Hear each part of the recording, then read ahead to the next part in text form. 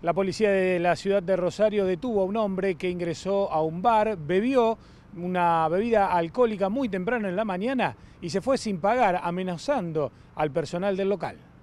Purino 68 que se fue sin pagar para lavar el monumento. Jean azul y buzo negro. Un muchacho de 40 años aproximadamente. Hay también hecho de amenaza con Recibido 01 buzo negro y jean.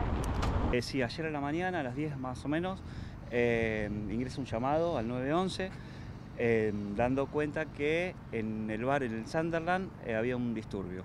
Cuando arriba la unidad, entrevista a la moza del lugar, lo que le da cuenta es que momentos antes una persona de sexo masculino mayor ingresa, toma bebidas alcohólicas y se retira sin abonar y amenazando al personal.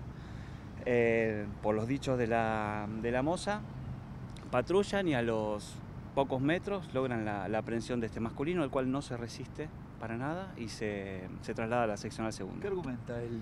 Nada, no argumentó nada, simplemente consumió el- la bebida alcohólica y se retiró amenazando al personal, manifestando que le habían que no tenía la tarjeta de débito y que no iba a abonar. ¿Y qué Nada más amena- que cuáles eran las amenazas? ¿Qué tenor? Amenazó con que iba a provocar daños en el lugar, no llegó a provocar daños tampoco y se retiró.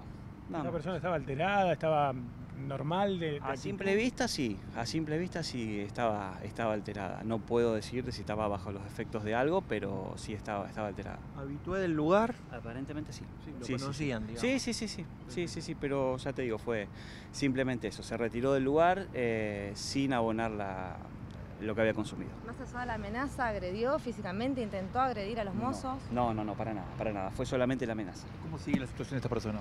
Quedó a disposición de, mm, eh, de la justicia, quedó, ellos van a decidir a ver cuál, cuál va a ser la, la situación. ¿Está detenido? Hasta el momento sí, todavía sí.